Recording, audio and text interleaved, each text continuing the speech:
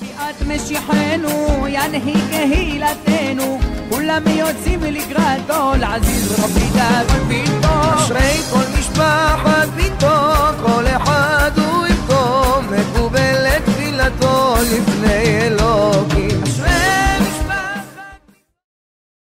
Shalom Vacha, que le bon Dieu vous protège, vous donne la santé, la joie, la prospérité. Que Hachem vous donne longue vie. Je voudrais simplement vous dire que à New York,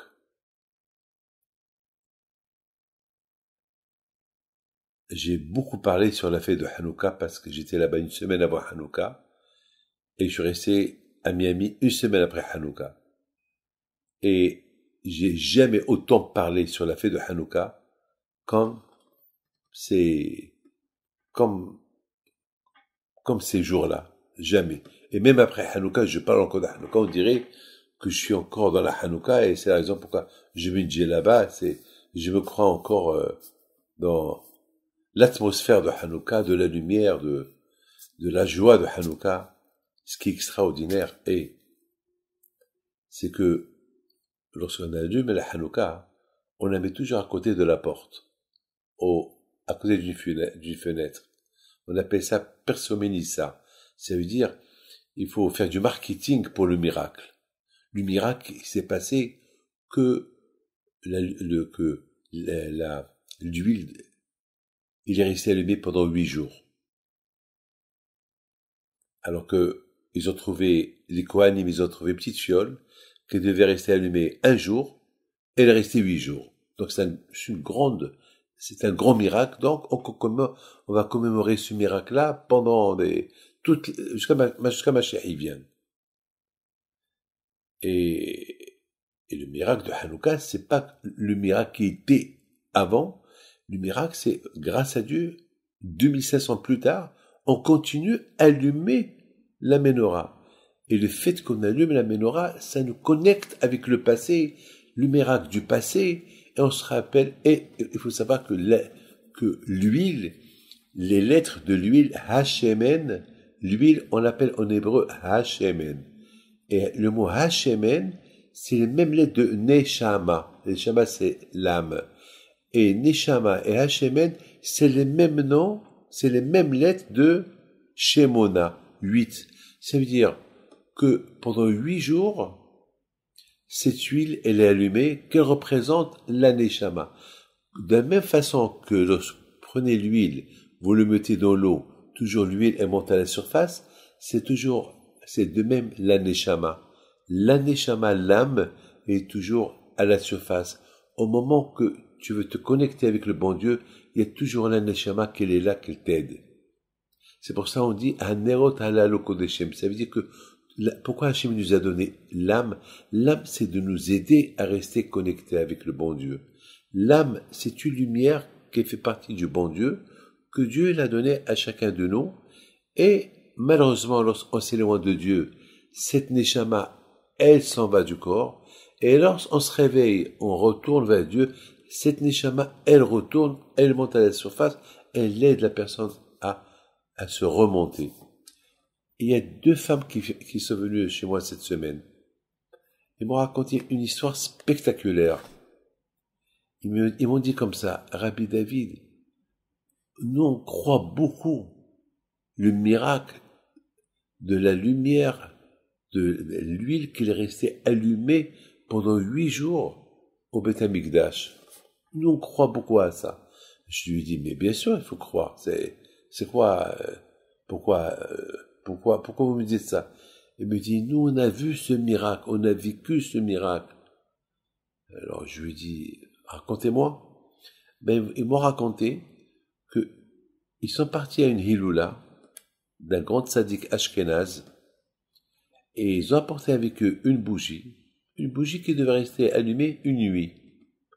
Elle est restée allumée six jours. Six jours. Et me dire, Rabbi David, on est, on est deux femmes. C'est maman, je suis sa fille. Je travaille à l'hôpital, je suis médecin. C'est pas qu'une histoire qu'on nous raconte. Et ma mère, c'est une sadéquette. Alors je lui dis, quelle zéchoute tu as de voir ce miracle? C'est extraordinaire. C'est extraordinaire. C'est extraordinaire. Comment, comment tu vas comprendre ça? Il n'y a rien à comprendre. Y a rien. Alors, je lui ai raconté moi aussi mon histoire.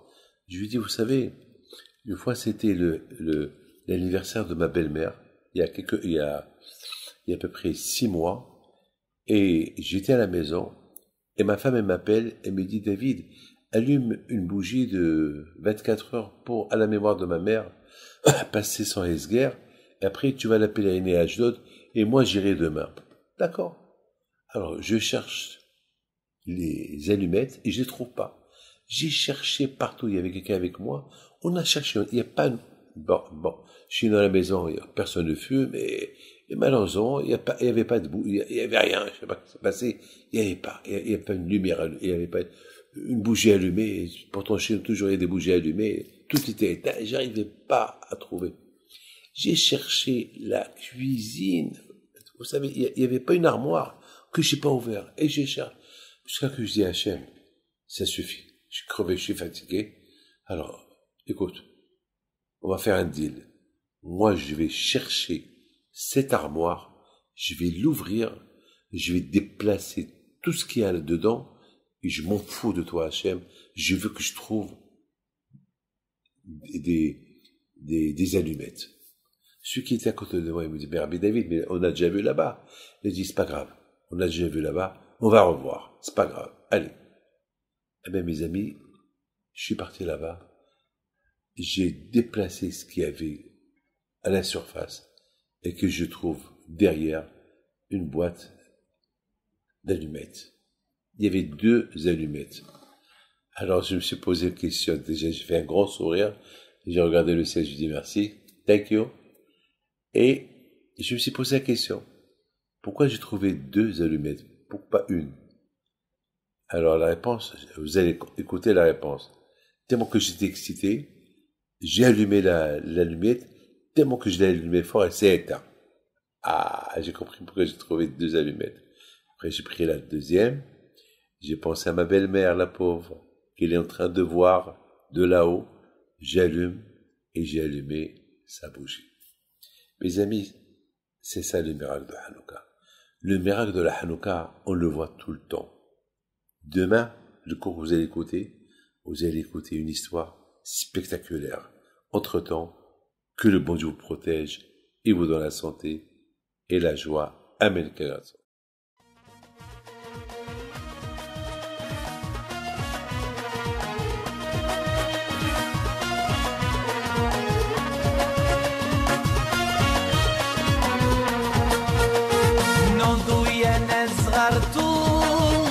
على ربيع حيم بنتو وقف لنا زيخو